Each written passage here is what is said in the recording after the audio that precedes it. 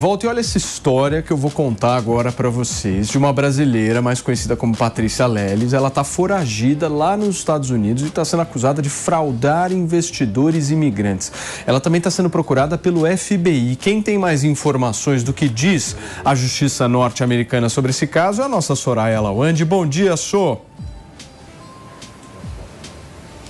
Oi, Paulo. Bom dia para você, bom dia a todos. Bom, Patrícia Leles é acusada de ter recebido 700 mil dólares, o equivalente a 3 milhões e 400 mil reais, em um esquema para enganar pessoas que estavam tentando conseguir o visto de residência nos Estados Unidos. Essa decisão equivale ao que seria no ordenamento jurídico brasileiro a aceitação da denúncia. Portanto, Patrícia Leles agora é ré. E de acordo com essa aceitação eh, da denúncia, né, o que diz até o comunicado que foi divulgado pela Justiça norte-americana é que a promessa é que ela conseguiria, portanto, vistos do tipo E2 e o EB5, que são vistos que garantem residência e até cidadania para cidadãos de fora dos Estados Unidos que se comprometem em investir em imóveis ou negócios ali no país. Segundo essa acusação, em setembro de 2021, Leles teria entrado em contato com um imigrante para auxiliar ele na obtenção desse visto, né, EB5, para os pais dele. A vítima teria feito pagamentos totalizando cerca de 135 mil dólares, o equivalente a 650 mil reais na cotação atual. A brasileira teria dito que esses valores seriam para investimentos imobiliários no estado do Texas, que fica no sul dos Estados Unidos. Só que, na realidade, esse dinheiro todo investido né, por esse suposto cliente, portanto, teria ido para conta bancária bancária de Patrícia Leles. Essa mulher, portanto, supostamente utilizou esses recursos para eh, dar entrada a uma casa, também reformas, outras despesas pessoais, como dívidas com cartões de crédito. Ela ainda é acusada de atuar ativamente para encobrir todo esse esquema e obter mais dinheiro. Então, para dar um caráter real, Sim. justamente, a tudo que ela estava mentindo, né, para fazer com que esses clientes acreditassem na história que ela estava passando, ela teria inventado também um número número do processo que estaria correndo na justiça Sim. e feito também convencido amigos de fazerem ligações por videochamada e telefone para essas vítimas. Só para a gente encerrar, ela só... pode pegar uma pena máxima de 20 Deixa eu claro, só. Paulo, me, me perdoe, querida. Eu preciso receber quem nos acompanha pelo rádio, só para todo mundo entender essa informação que você está passando. A gente está iniciando aqui uma repercussão, gente, com a Soraya Lawande, de uma brasileira que está acusada, inclusive, de fraudar investidores, um prejuízo aí de quase 3 milhões de reais, mais de 700 mil dólares.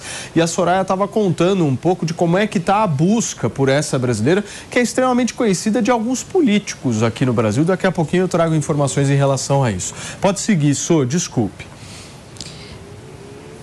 Imagina, Paulo. Inclusive, ela já esteve nas páginas né, de notícias nos Estados Unidos, porque ela já te, tentou concorrer a uma eleição. Depois vocês podem trazer, claro, é, né, recordar de, de todas as formas que, ela, que o nome dela já apareceu na mídia, mas como você bem dizia, agora ela está sendo procurada de, por ter recebido cerca de 700 mil uh, dólares, né, mais de 3 milhões de reais. Ela se passava por uma advogada de imigração e fazia, né, prometia essas tratativas para esses clientes para conseguirem esses vistos de permanência de residência nos Estados Unidos. E o, um dos mais recentes clientes aconteceu nessas né, negociações negociações em setembro de 2021. O cliente, inclusive, depositou uma quantia alta na conta de Patrícia, que ela acabou utilizando e caindo na sua própria conta bancária para pagar despesas pessoais. Formalmente, a Patrícia é acusada de fraude eletrônica, transações monetárias ilegais e roubo de identidade agravado. Então, ela pode pegar aí uma pena máxima de 20 anos de prisão se for condenada por envolvimento em fraude eletrônica, uma máxima de de 10 anos se for condenada por transações monetárias ilegais e também um mínimo obrigatório de dois anos adicionais de prisão se for condenada por roubo de identidade. Muito bem, minha amiga. Obrigado, Soraya, pelas suas informações. A gente vai tentar entender com o nosso time agora quem é Patrícia Leles Renato Batista. Ah, olha, Paulo Matias, uma coisa não dá para negar, né? A vida da Patrícia Leles daria um belo de um documentário aí, de um filme. Uma série. É, para quem não sabe, ela foi já diagnosticada como mitomaníaca. Então ela tem a, a, o costume de inventar histórias e eu vou citar algumas aqui. Uh, ela ficou muito conhecida primeiro quando, acho que em meados de 2015, 16, 16, 16, ela acusou o deputado federal Marco Feliciano de estupro. Porém, hum. esse caso foi arquivado em 2018 por falta de provas. Ah, ela ganhou uma, uma repercussão com isso, começou a aparecer bastante na mídia e, a posteriori, ela começou a criar outras histórias é, disse que teve até um relacionamento com o deputado Eduardo Bolsonaro. É, algumas publicações que ela fazia nas redes sociais eram flagrantemente mentirosas. Eis que. Que ele teria ameaçado ela. Né, Exatamente. Né, e tudo isso ficou comprovado, né, de que é, é era mentira.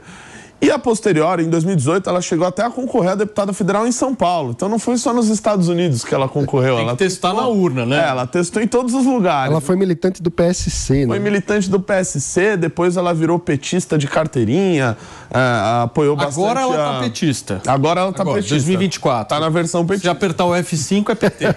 Se apertar o F5 é PT. Pode mudar a qualquer momento também, Paulo Matias. E olha só que curioso, ela foi morar nos Estados Unidos e lá ela já passou por algumas polêmicas, né? Ela já chegou a ser presa duas vezes.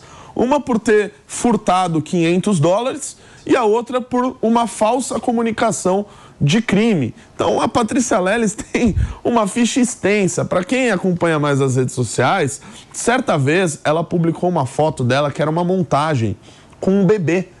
E aí ficou comprovado pela internet que ela roubou aquela foto de uma americana e colocou o rosto dela. Então é nesse nível. E o que mais me espanta nesse caso é saber que uma pessoa com esse histórico ainda consegue enganar tanta gente. Não, como A... é que alguém dá dinheiro para essa mulher? Exatamente. Ô, Paulo, e pior. Coloca o dinheiro para ela cuidar. E pior, Paulo, ela ainda tem no Instagram, por exemplo, mais de 430 mil seguidores, mais de 200 e tantos mil no Twitter é, assim, me custa acreditar que alguma pessoa segue a Patrícia Leles, talvez por gostar de alguma ideia dela ou algo do tipo. Eu espero que no mínimo. Mas é bonita. Eu, então, eu espero que no mínimo as pessoas ou acompanham porque ela é bonita, ela é bonita. ou porque realmente as histórias que ela conta no final acabam se tornando muito engraçadas. Pepe, você deixaria a sua fortuna nas mãos de Patrícia Leles?